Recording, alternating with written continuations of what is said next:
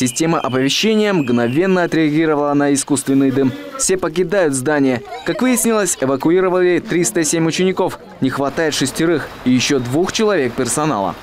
По легенде учений, пожар вспыхнул в коридоре второго этажа. Огонь и дым заблокировали сразу три аудитории. Здесь находятся люди. Застрявшие в классах машут в окно красной тряпкой, а пожарные разворачивают технику и рукава. Одна группа входит в здание, две другие эвакуируют детей при помощи машины и простой лестницы. Там был очаг пожара, условный, конечно, 6 квадратных метров. Затушили, подали ствол Б, затушили и выводили детей и персонал, обслуживающий персонал. И по, по, по автолестнице, по трехколенной выдвижной лестнице, и с помощью спасательных устройств, наших дыхательных аппаратов.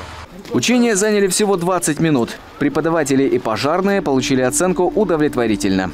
Не было четкого построения значит, учеников, э, четкого доклада руководитель тушения пожара. То есть э, присутствовал э, определенный вот такой сумбур небольшой.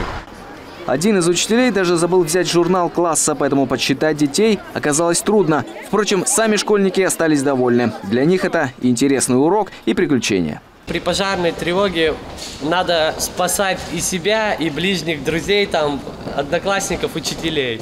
Мне кажется, что при пожаре э, без МЧС там никак не справиться. Они всегда помогут, быстро приедут. Такие уроки появятся в расписании всех образовательных учреждений региона. Учения продлятся до конца сентября. Константин Куратов, Игорь Данилов, телеканал Юрган, Катпировский район.